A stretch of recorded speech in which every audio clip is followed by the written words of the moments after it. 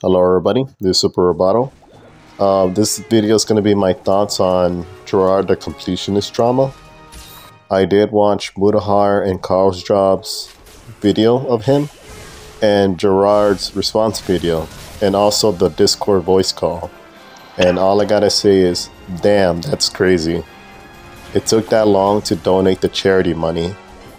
And I can't believe they did my boy Pro Jared dirty. The guy's innocent. And yeah, that's pretty much it. Bye.